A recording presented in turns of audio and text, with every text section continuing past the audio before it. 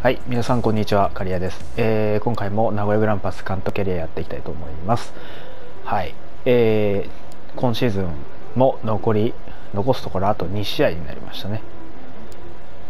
うん、さあそしてね、えー、だいぶリアルに追いついてきましたね、こちらのシリーズの方も。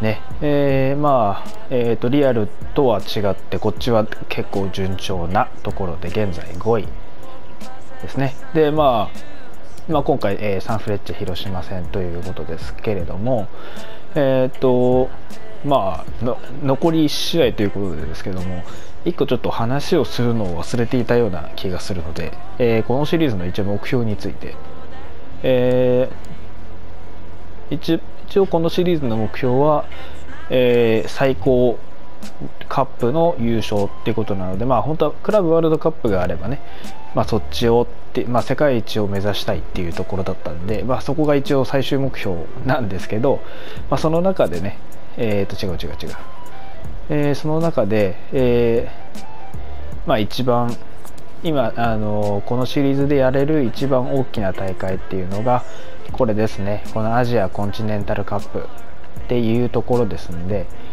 まああの一応これでの優勝を最終目標に考えています、うん、でまずは、えー、来シーズンその、えー、出場権をかけて、えー、アウェイの今日広島戦を戦っていきます。ね。えー、もう本当に30試合30回ぐらい取ってきてまだに最終目標いってなかったような気がするのはちょっとね。なんというか。残念な話ですけれども。えー、ということで、まあ、今日勝てば、えー、サンフレッチェ広島戦に勝てば、えーまあ、勝ち点58となって、えー、一応サンフレッチェ広島を、えー、上回ることができます。で、まあ、ヴィッセルがたとえ勝ったとしても、えー、4位には浮上。でその次の、えー、湘南ベルマーレ戦に、えー、勝利すれば4位以上が確定するのでまずは、えーね、出れなきゃ話にならないのでアジアコンチネンタルカップの出場権は、えー、獲得できるというところになってきます。えー、ということで、まあ、ここの試合がねかなり、ね、残り2試合ですけれども重要にはなってくるもう負けられませんからねっていうところで、えー、しっかりやっていきたいと思います。ということで広島戦行ってみましょう。さあいよいよ始まりますよ、えー、しかも今回アウェーですからね。まあ十分注意してしっかり戦っていきたいですね。皆さんこんにちは。今日の試合実況は西岡明彦。解説は福西隆さんです。さあ、えー、今回は、えーと、はい、そうか、中谷選手をちょっともう一度、えー、リザーブリザーブというか、タブに戻して、ね、えー、ネット選手を、えー、一応入れてます。福西さん前線のタレントを豊富に要する両チームですが今日はどんなゲームになると思いますか？この前の試合ではどちらのエースも2点取っていますね。エースの対決がゲームの行方をなんかいつの間にか前田選手がエースになってるけど一応俺が考えてるエースってジョー選手なんだけど。まあいいか。まあみんな頑張ってほしいっていうことには変わりないので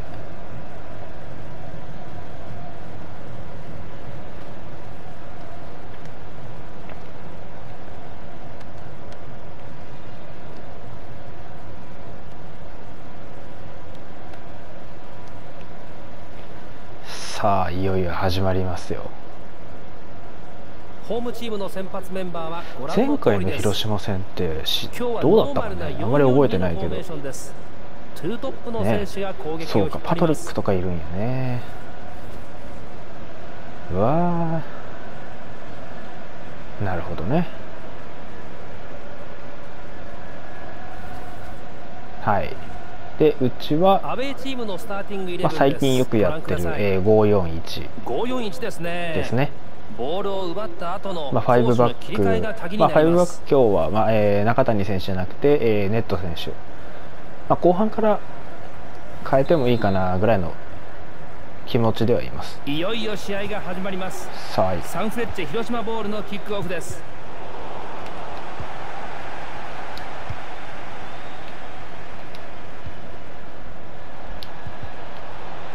っしゃ。いやギリギリでしたね。よく受け手の動きを見てパスを出しましたがちょっとタイミングが遅かったかもしれません。あその前か。ローレンチのとこでそもそもオフサイドか。そうかそうか。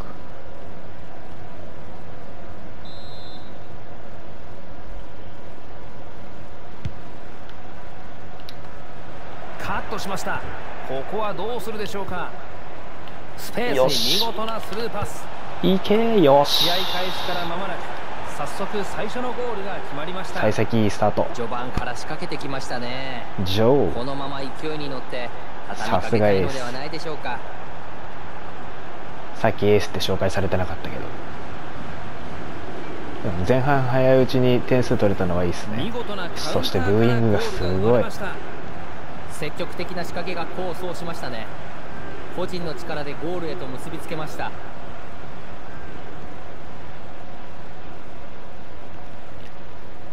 ねまあ、リアルでは得点王を取ってるぐらいです、まあ、得点王のぐらいの活躍してる選手ですからね、それは能力値は高いわね、それはうまく抜け出してくれれば、得点は決めてくれるわね、さすがですよ、ジョーさん。さあ、いくよ。ベリシャ。千葉和彦柴崎康生ナイス。あーちょっとミス。そこはスルーパスじゃなかなくてもよかったかも。柴崎康生ここはサイドに持ち出すでしょうか。サイドからの攻撃を狙います。これはディフェンダーを超えません。稲垣翔青山敏弘シュートを打ってナイスブロック。タックルでボールがこぼれました。ベリシャ。このシュートはどうだ？ランゲ頼むよ。ゴールキーパーの果敢な前進でした。ボールをしっかりとキープ。うわちょっとそのパスはまずい。おわラッキー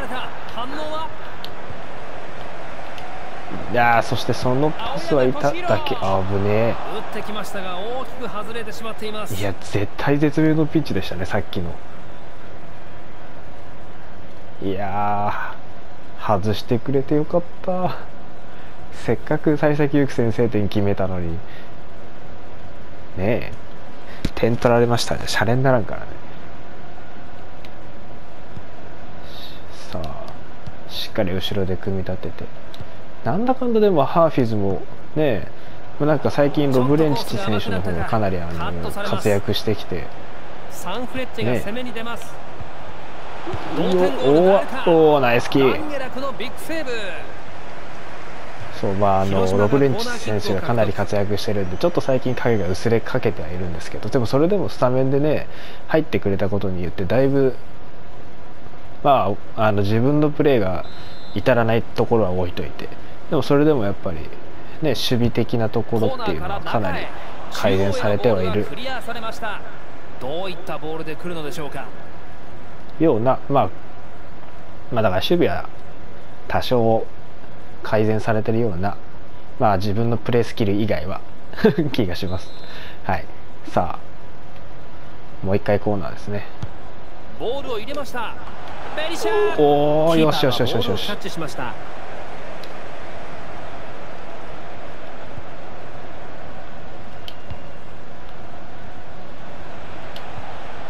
ああそうかそこでブロックされちゃったか。簡単にカットされました。ちょっと最初の得点以降チャンスがうまく作れてないのがちょっと嫌だけど。まずはしまあでも今しっかり今耐える時間かな。広島の攻撃です。よしよしここ。先に反応するのはどっちだ？チャンスを狙っています。よしよしよし。キーパーの守備範囲です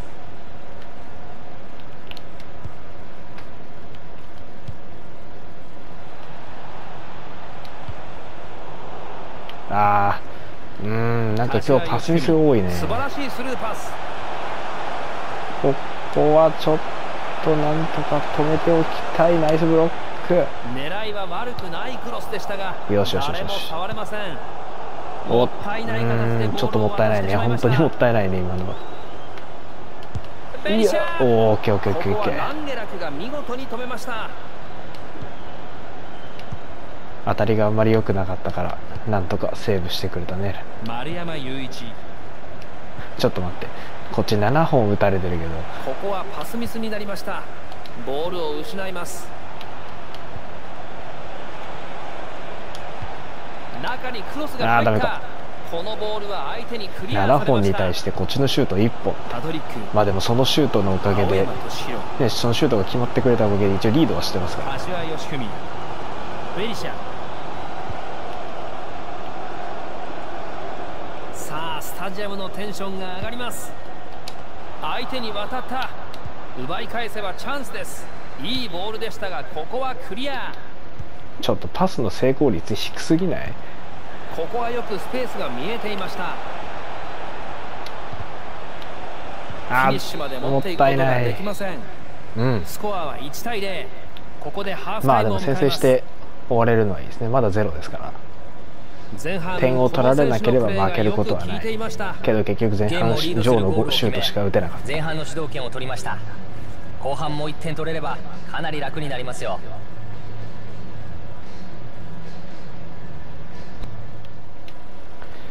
たさあ結局前半が、えー、ジョーのシュート1本で終わってしまったというこのちょっとね残念な守備出にも細心来の注意が残念なというか。必ところを後半は少しでも改善しておきたいんですがよしよしよしよし。手放してしまいましけやだよと。味方につなぐこともできます。あよし。ディフェンダーの裏を取るプレーを好む選手ですがオフサイドか。少しタイミングが早すぎたか。そうね。うん今ちょっと怪しい気はしたけどついいたから出しちゃった出してしまった。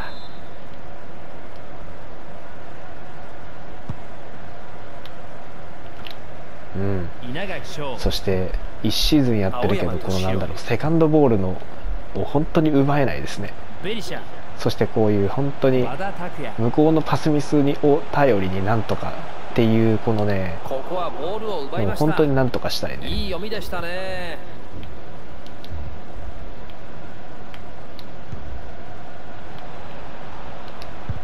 おい。ベリシャ見事な視野です。ゴールキーパーがボールを抑えた。ちょっと怖い守備してんなさっきから。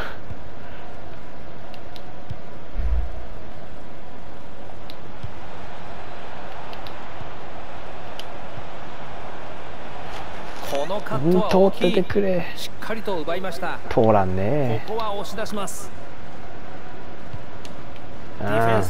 そうここのセカンドボールですね。うまく競り勝ったとしても。でそこの後を取れなきゃ意味がないからね。よし。ミスショットのおかげでなんとか助かった。そしてまだ後半シュートを1本も打ててない。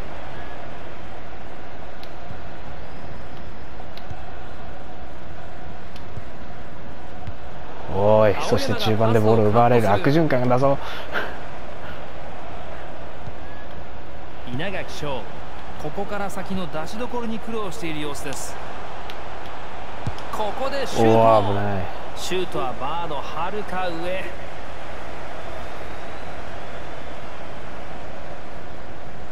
こうミスショットしてくれてるおかげでなんとか助かってる感じはありますね。うん。さあちょっとここで選手交代ことえーフォーメーション交代します体力的な交代でしょうかえ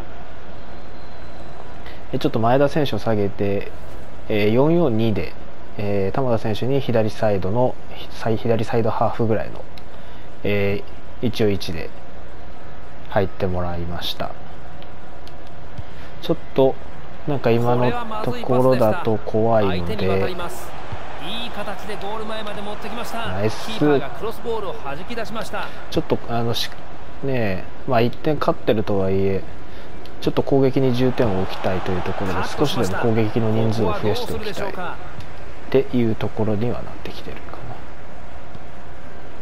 で、えー、と一応アダイウトンと、えー、ジョーの2トップ。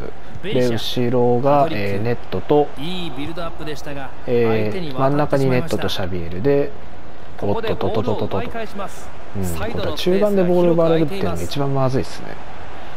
サイドからのチャンスボールキックで再開になります。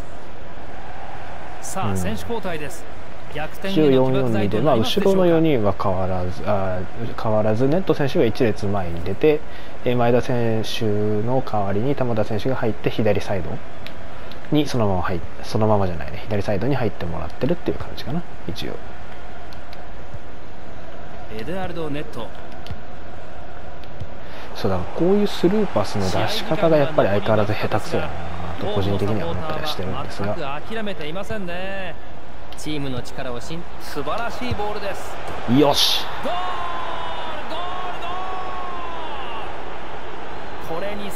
今のスルーパスはうまかった。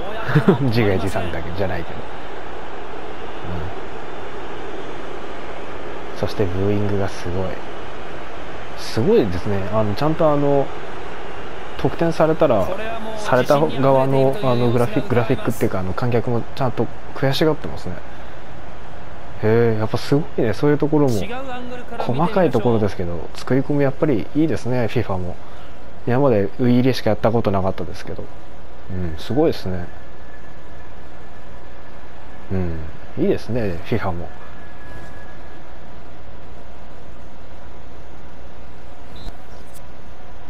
さあということでちょっとうちはここで2枚買います、えー、ハーフィズ選手。